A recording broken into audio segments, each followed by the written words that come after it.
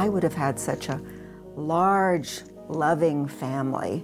I would have been embraced by grandparents, aunts and uncles, cousins.